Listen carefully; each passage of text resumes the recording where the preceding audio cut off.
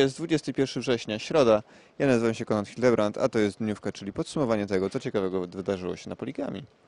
Dzisiaj mamy dla Was dwie recenzje. Pierwsza to recenzja Rise of Nightmares, czyli strasznej gry na Kinecta, która męczyła Tomka, a druga to Renegades Ops, gry dostępnej w cyfrowej dystrybucji na PC, na Xboxa i chyba też na PlayStation 3, poprawcie mnie jeśli się nie mylę, którą grał Maciu wraz z całą drużyną. Jeżeli lubicie kooperacyjne zabawy, to sprawdźcie recenzję, bo Maciu tam pisze, czy ta gra się do czegokolwiek nadaje.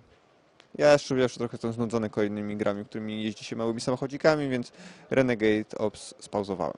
Przechodząc do innych ważnych rzeczy, to mamy informacje dotyczące na... Wiedźmina 2.0, który chyba nie jest aż tak przełomową wersją, jakby sobie tego CD Projekt życzył, ale może jeszcze czymś zaskoczą. Jutro też jest, mm, będziemy na jesiennej konferencji Projektu, gdzie zostaną zaprezentowane właśnie Wiedźmin, a także mamy nadzieję, że uda nam się porozmawiać z przedstawicielami kilku innych gier i wydawców i może będzie coś ciekawego. CD Projekt ma pokazać ostateczny projekt okładki Xboxowej wersji gry. Podejrzewam, że będzie tam Wiedźmin Geralt albo Medalion Wilka. Yy, Pozostając w temacie polskich gier i polskich, polskiego rynku, Złośliwi mówią, że istnieją w Polsce firmy produkujące gry, które żyją tylko na giełdzie.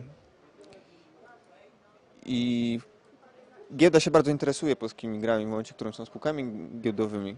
Więc na przykład firma Nicolas Games y, znajduje się na celowniku opinii giełdowej prasy, która wytyka, że jest takim workiem bez dna, że inwestycje poczynione w kierunku Afterfall Insanity na razie się nie zwracają, a firma potrzebuje jeszcze więcej pieniędzy i dla inwestorów jest takie, ej, dlaczego nie chcą jeszcze więcej pieniędzy? No to a Nicolas Games odpowiada, że ej, no bo chcemy zrobić tą grę, więc zobaczymy, jak to wyjdzie. W każdym razie giełda czeka, wszyscy czekają na tą grę, więc może kiedyś ją zobaczymy jednak. I zerknę swój noces. Tak, jeszcze e, jako, że tutaj wszyscy siedzimy razem dookoła siebie, więc jak Sławek coś mi powie tydzień temu, ja powiem, o, ale super, a potem o tym zapomnę. Więc tydzień temu Sławek napisał o bardzo ciekawej grze Warco. Jest to skrót od War Correspondent, wojenny korespondent i jest to FPS dziejący się gdzieś na obszarze współczesnego konfliktu wojennego, tylko że nie mamy pistoletu, karabinu, a kamery. Jesteśmy dziennikarzem, który biega za żołnierzami z kamerą i o, tym, tej, o tej grze też dzisiaj przeczytacie na, na Poligami. A także, no cóż, najważniejsze, Dostaliśmy swój kod do bety Diablo 3. Gramy, zgrywamy dla Was różnego rodzaju materiały myślę też, że już na spokojnie jutro podzielimy się jakimiś pierwszymi wrażeniami, takimi bardziej skoordynowanymi.